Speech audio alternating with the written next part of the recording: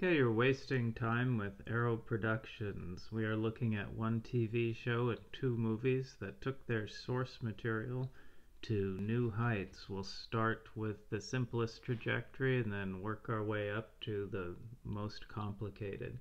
First, we have Anything by Alfred Hitchcock. This is Rear Window from 1954, which is a classic. But it started out as It Had to Be Murder, a 1942 short story by Cornell Woolrich. In this one, it's a little more dated. The caretaker is a couple of servants, and you kind of have to plow through it knowing that the movie was a classic. Um, even though Cornell Woolrich was a good second tier writer of his day and very successful. Next, we have the book Mr. Roberts by Thomas Heggen. This is about um, a novel about what happened to him in World War II, which was more like the peacetime military, in that there's a lot of uh, pettiness but uh, no action. This was a huge bestseller. It went on to become a hit play in 1948 um, again, uh, Thomas Heggen was starting to feel the pressure. He died in 1949. It was likely a suicide. It was disputed at the time. The reason he gave was uh, writer's block, but it looks, looking back on it, it looks more like substance abuse, uh, particularly alcohol because he didn't need to write anything else. He had been a Reader's Digest editor before the war, which is the top of the food chain. Um, when that particular food chain was much, much bigger than it is now. But the franchise went on. The high point was in 1955 with the, the movie Mr. Roberts, uh, again with uh, Henry Fonda and then after that, there were some lower points in the trajectory. There was the Ensign Pulver movie from 1964 and um, the Mr. Roberts TV series from 1965 to 1966. Next, we have I Love Lucy, which ran from 1951 to 1960. This one has a long trajectory and probably the biggest difference between I Love Lucy and its source material was the neighbors. Um, the others didn't have Fred and Ethel or their equivalents. So it starts off in 1940 with Mr. and Mrs. Cugat, A Record of a Happy Marriage.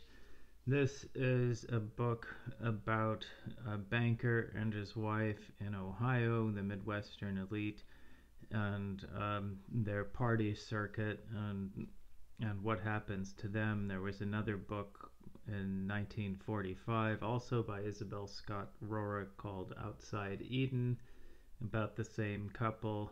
So in 1948, this became the movie, Are Husbands Necessary, which I have not seen and have only heard of because of Lucy, this incident with the suit of armor where the husband gets stuck was part of the book.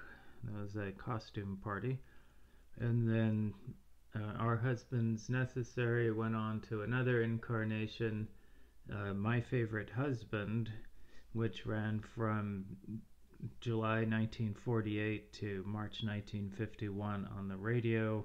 I Love Lucy was later in 1951. This had um, some of the same people working on it, including Madelyn Pugh, so some of the episodes uh, were recycled.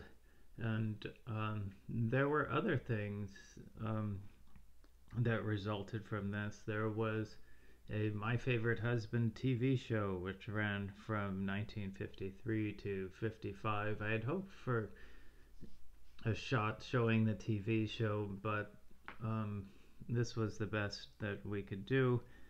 And um, beyond that, there was a there was a movie with almost the same characters. This was the Long Long Trailer from 1953. It has nearly the same characters as I Love Lucy. Uh, Nicky and Tacy instead of Ricky and Lucy, and they are on their honeymoon on a trailer. It's a middle aged to young couple uh, driving around on their honeymoon. Um, but these are characters um, from arguably from Mr. and Mrs. Cugat, the record of a happy marriage, placed into the action of m- still more source material that is the book, The Long Long Trailer, which was written in 1951 by Clinton Twiss. This is an interesting story of an an older couple on the verge of retirement driving around pulling a trailer in their car. A lot of interesting descriptions of people and how they managed in uh, large house trailers at a time when uh, such things were new. So, anyway, that's uh, about all. That is um, a TV show and a couple of movies that took their source material to new heights.